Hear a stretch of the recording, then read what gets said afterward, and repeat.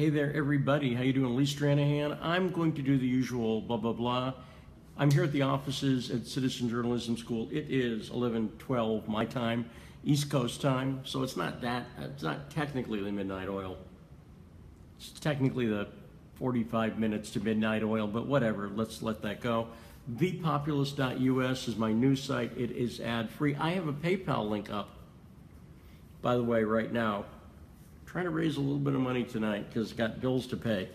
Um, but uh, trying to do that, or you can go over to citizenjournalismschool.com and check that out. Also, what else did I want to tell you? Oh, retweet this puppy. Also, subscribe on Periscope.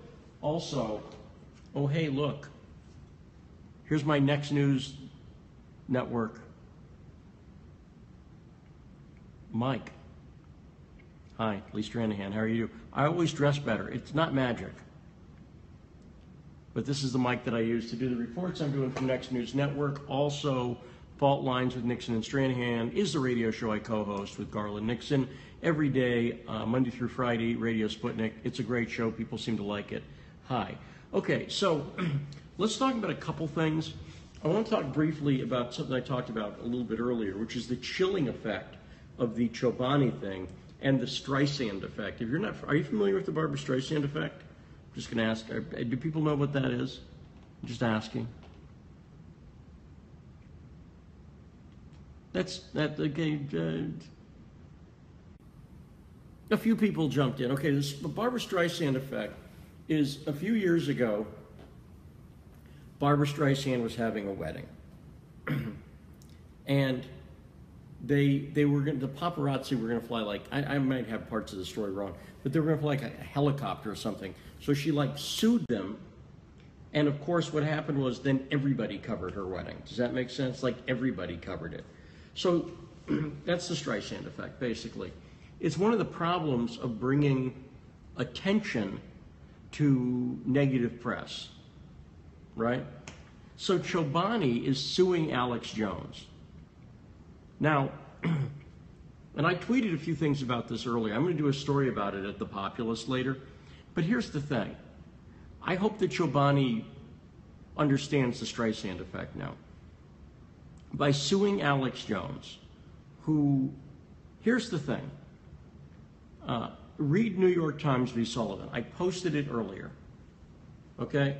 I think it's important to get reporting correct. That being said, you're never going to be able to get reporting completely correct all the time. You're just not. That's what New York Times v. Sullivan was about. This was a big Supreme Court case. And basically, one of the things it said is that reporting the news is a little sloppy sometimes. And that as long as you didn't have malice, which meant you were, you know, trying to hurt the person, or a blatant disregard for the truth. And these are both high standards to set. You dig? Uh, then you basically you couldn't win a lawsuit on First Amendment grounds. And this initially applied, New York Times v. Sullivan applied to government employees like Shirley Sherrod, by the way. Remember her? She was a government employee, by the way. But forget the legal stuff for a second, because I am not a lawyer. I am, I am not a lawyer, is another way of saying I anal. I didn't make that up. It's the acronym. But I am not a lawyer. But it's a telling acronym. But I am not a lawyer. But it's just true. Spell it out. Um, thank God. But I am a journalist, and I will tell you that these lawsuits, the purpose of them is to shut you down. So what they're trying to do is Chobani, who is closely aligned with Hillary Clinton, closely aligned with the Obama administration, and as you could see in that recent 60 Minutes piece, it's a, it's, this is a big company owned by Hamza Ulukaya, right? They don't, when they don't like reporting, they're suing somebody over it. Now, I don't know what they went through. I'm not a lawyer. I don't work for InfoWars. I don't work for Alex Jones. I've been critical of some of Alex Jones' reporting. But the point of this, the point of these lawsuits, is to shut people up, and it works. And I experienced it firsthand when I was reporting on Twin Falls. So what I'm going to do is I got a bunch of other work to do. Uh, but I'm going to put up some Twin Falls stuff, and I'm going to do some new reporting on Twin Falls. You dig? You listening, Chobani? I hope you're listening. And I hope you look up the Streisand effect because you've just done it. And here's what I want you to do retweet the stories. Let Chobani know what you think. This is a free country still. And if, if Chobani doesn't like some reporting and they want to request a retraction, again, I don't know if they did that with Alex. Maybe they did. Maybe they didn't. Maybe they're just picking on InfoWars. And maybe the next person they're going to pick on would be, well, I won't say Breitbart because they kind of did that already. I can't go into it. But they, they shut my reporting down, and not because it was inaccurate, because they didn't like it. Because I showed how Chobani was directly connected and a tool. Here, let's try this, shall we? Uh, one second. This is going to sound like I'm making it up.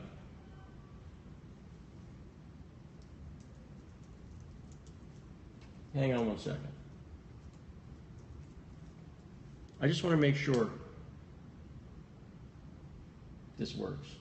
Yeah. Okay. So here's what I want you to do. Ready? Try this. I just made sure it worked. Try this on YouTube. If you're if you're at a browser, bring it up right now. Bring up a browser. Just on uh, like I have a computer right here. Try it. When you, if, when a few people have a browser, just tell me when you got it up.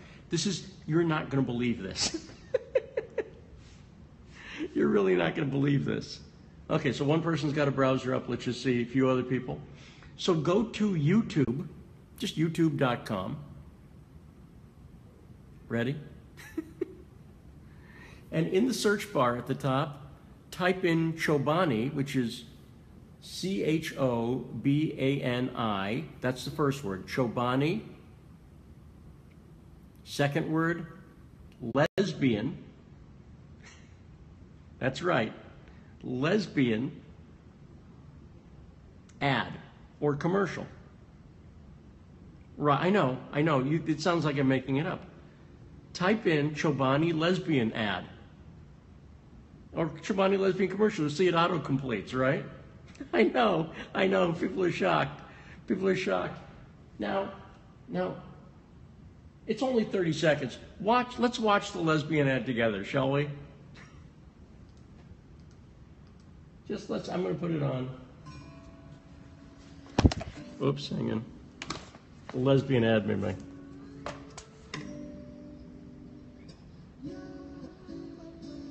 What? New Chobani Simply 100. 100 calories. Naturally sweet. And simply delicious.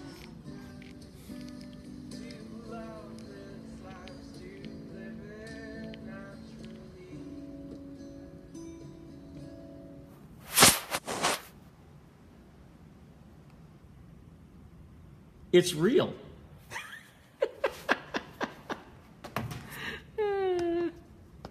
It's real.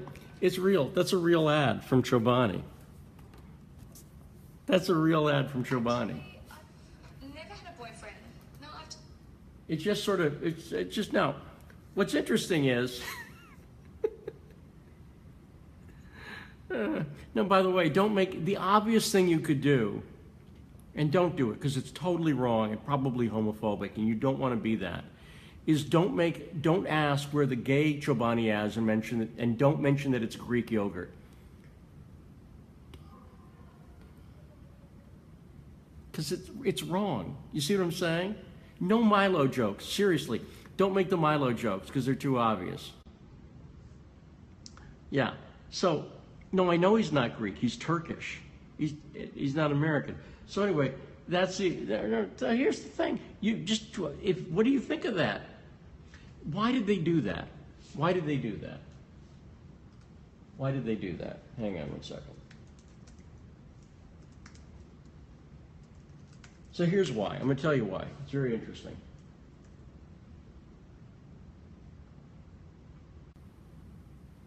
So one second. There's a bunch of ads about the list. So when that ad came out, June 2015, let's just look that up. June 2015, What was going on? What was going on? What was going on? Ready? That came out in June. Ah, hang on. Look, I don't know if you can read that. This is May. Presidential Proclamation, LGBT Pride Month. You dig? Hang on. This was a political move on, on Chobani's part. Go look it up. You'll find it. You'll find it. This is a political move on the Chobani's part. Chobani is deeply connected. You can do this on Twitter. Try this on Twitter. Uh, try doing a Twitter search for at uh, one second. At Hillary Clinton, one second.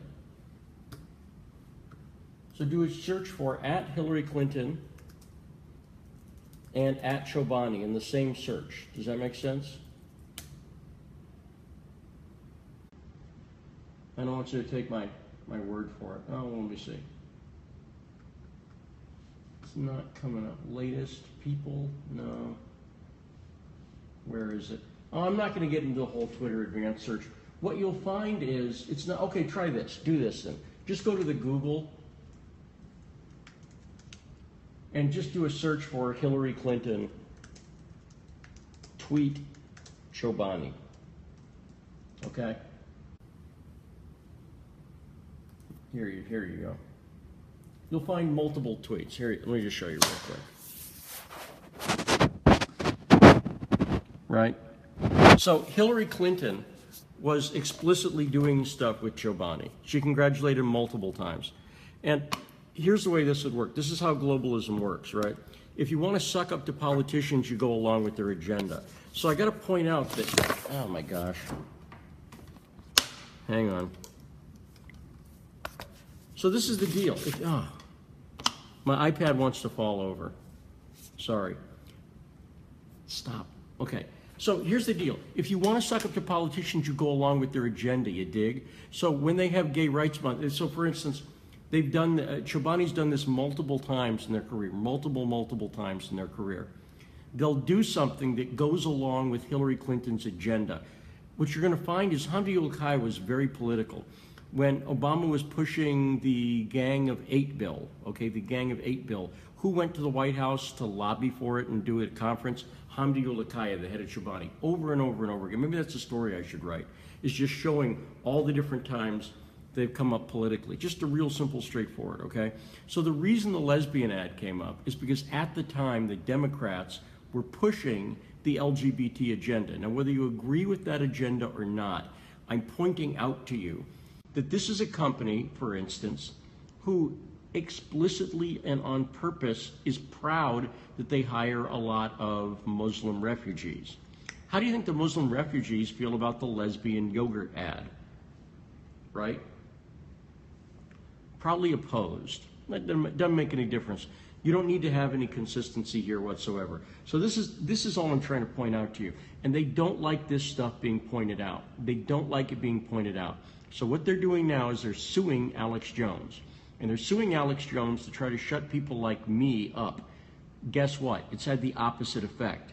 You dig? It's not working. Had the exact opposite effect, and I'm going to keep writing about it. So that's what I've been doing. Anyway, that's it. You guys do some research on your own. Check it out. And be careful. Like I said, I mean, this is the thing, and I've told people this. Someone recently contacted me. They said they're interested in doing some work on Chobani. I said, be very careful because they like to sue people and they like to threaten to sue people.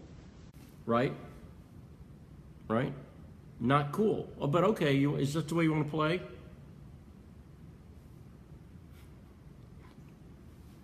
Right? Okay, let's let's play. You want to play? Let's play. That's fine. That's fine. This is the thing about doing good journalism. Now, final thing I'm going to say. I got a PayPal tw- a link up. Do me a favor if you can. Again, I'm trying to raise a few bucks tonight. Got some bills to pay. Got one bill. If I can get 60 bucks in right now, I can pay one bill like boom, like that, and otherwise I can't do it. But if you do do that, that'd be great. Otherwise, if you want to go to citizenjournalismschool.com, we got a big deal uh, for you right now. If the deal is going to go, the price is going to go up soon, And it's a great time to get into citizen journalism school because we're about to expand the school with a flood of new lessons, new courses, and everything else. I got more to say. We're redesigning the graphic look. We're upgrading the whole thing. To everybody who's in citizen journalism school already, we're going to add all these new features and the price isn't going up. You're going to pay the same price you've been paying, right? The way it works is there's never going to be a sale at citizen journalism school. Never. There's never going to be a point where you get less for your money. I hate that as a consumer. I hate buying something and then it goes on sale the next week. Right? Don't you? So we got a different business model here. The price will constantly go up, will never go back down. And if you, it's 50 bucks a month for Citizen Journalism School right now. That price is going to go up as soon as we're done with all these renovations in a few weeks. The price is going to go up a little bit. Not going to go up a lot, but it's a little bit. And over the course of a year or two, it makes a difference, right? But the price will never go down. So if you sign up now for 50 bucks a month, it's not going to be 25 ever. Not going to be 25 at Christmas time. Okay? We grandfather stuff in. And the reason why is we're constantly adding new material. It's constantly a better value for your money. That's the way it works. This is the business model. I'm very clear about this. Hold me, uh, you can hold me to it, period. I'm telling you, this is the way it works. Therefore, if you, people who bought in as the guinea pig program, they're paying less than 50 bucks a month. They got in at like 29 or something like that because they were buying a pig and a poke. We had very, you know, we didn't, we were just getting material up there. Now, as we're making all of these upgrades, as we're doing more and more, if you sign up now, you're locked into that price forever. And the other thing that we're doing right now, we have a deal if you sign up for a year, you get a free year hosted WordPress site of your own with the domain that you want. That's all in there right now. It's a good deal. And we offered it to people who'd signed up before we made that deal. We offered them that deal as well. Does that make sense? So that's another thing that we did. So a lot more material coming to Citizen Journalism School. Uh, since I'm not working at Breitbart, I got a little bit more time to do this. We have a lot more stuff coming. I made some films for you at citizenjournalismschool.com. Check it out. That's two ways you can help us keep the lights on. Not that, by the way, the electricity's covered in my office here, so technically when I pay the rent, it's not the lights. The lights aren't suddenly going to go out. It's a metaphor. Okay? Anyway, that's it. Hopefully I made you a little smarter on Chobani, on censorship, on how they should chill on the chilling effect. Don't like it very much. There you go. Love you guys. Take care. Bye.